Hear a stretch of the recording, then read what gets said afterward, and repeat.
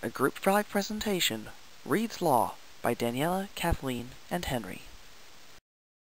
An early attempt to generalize a way to determine the value of a network was first formulated in 1980, and later called Metcalfe's Law, after one of the creators of Ethernet Protocol. This law states that the number of unique connections in a network of n nodes is equal to n times n minus 1 divided by 2. If you wish to examine the behavior of this for large numbers, you find that the limit as n approaches infinity is equal to n squared. Thus, Metcalfe's law claims that, for large networks, the unique connections and implied value is proportional to the square of the number of nodes, or users. However, David P. Reed, a professor of computer science at MIT, found Metcalfe's law to be inadequate. He stated instead that the utility of large group forming networks, such as social networks, can scale exponentially with the size of the network. This is known as Reed's law. Reed's law bases value on the number of subgroups that can be formed within the network, rather than the number of connections of two nodes within the network, as found in Metcalfe's law. The number of possible subgroups that can be formed from network participants is 2 to the n minus n minus 1, where n is the number of participants. As n approaches infinity, approximating the behavior of the formula for large numbers of nodes, this equation becomes 2 to the n. This exponential equation grows much more rapidly than either the number of participants, n, or Metcalfe's number of possible pair connections, approximated by n squared. Reed identified three types of networks. The simplest and easiest to value is the one-to-many or broadcast network.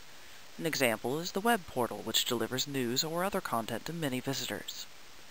More complex and more valuable is the one-to-one or transactional network.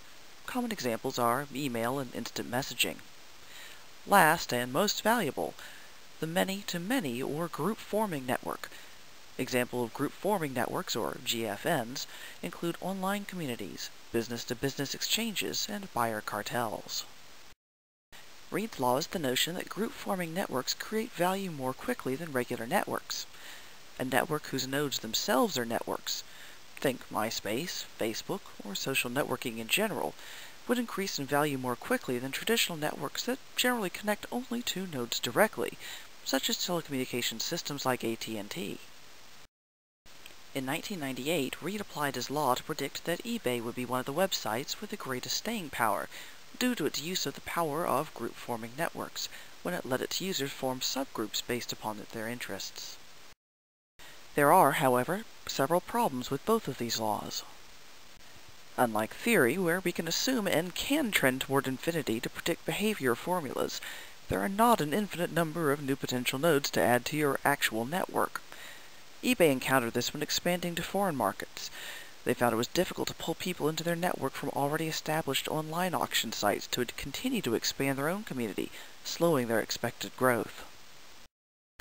Another obstacle is the underlying assumption, stated as a part of Metcalfe's law, that each node is equal in value to each of the rest.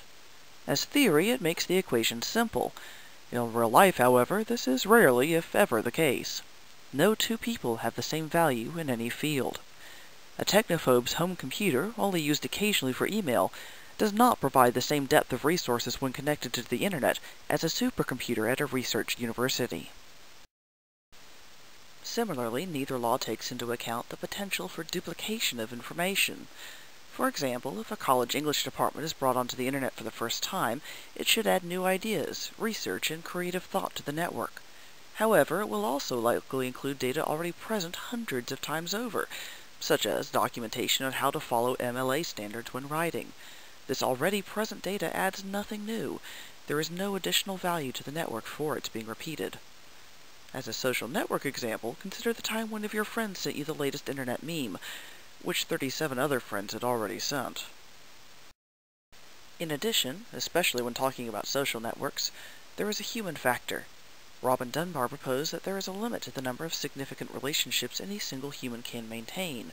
While this can and does vary, an approximate average number is 150. Thus, under Reed's law, a social network of a thousand people theoretically forms subgroups from two to a thousand people, but realistically, most subgroups become ineffective after their size exceeds approximately 150 people. Think of the people on Facebook who have a thousand friends. Is it likely that person will actually read something posted by any particular one of those friends? While the data is there, any one particular message is lost in a sea of information overload.